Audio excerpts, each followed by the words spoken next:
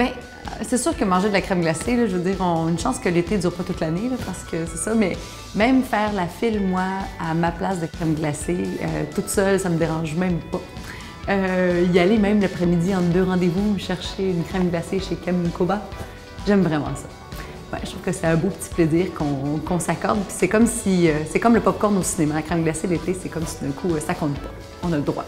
Ça fait plaisir.